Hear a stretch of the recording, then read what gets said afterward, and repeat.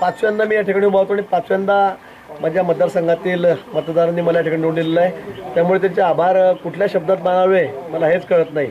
आणि नुसतं निवडून दिलं नाही तर मला वाटतं उत्तर महाराष्ट्रामध्ये सर्वाधिक मतं नंबर एक ते त्यांनी मला या ठिकाणी निवडून दिलेलं आहे. म्हणून मतदारांचे खूप खूप आभार मी या ठिकाणी व्यक्त करतो. चांगलं यश आम्हाला या ठिकाणी संपादन करता आलं शिवसेनेला सुद्धा तीन जागा मिळाल्यात.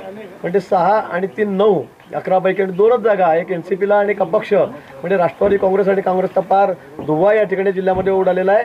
आणि हा भारतीय जनता पक्षाचा बालेकिल्ला आहे हा जिल्हा हे पुन्हा या ठिकाणी सिद्ध झालेला आहे. मोदी लाटचा काही प्रभाव दिसला काय निश्चित निश्चित.